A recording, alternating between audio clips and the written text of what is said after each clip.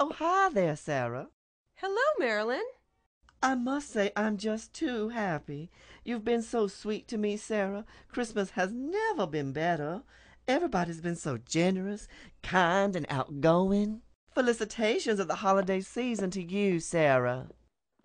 And a Merry fucking Christmas to you, bitch.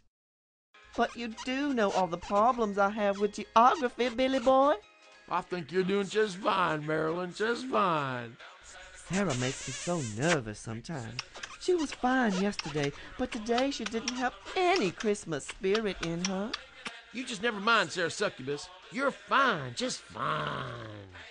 She was just all over me when I got Cincinnati mixed up with Chicago. He's just jealous, Marilyn. Maybe if I took up reporting instead of the weather, it would help my career. Your career's doing just fine, Marilyn. Maybe you could assign me some field work. You just concentrate on your work here at the office, honey.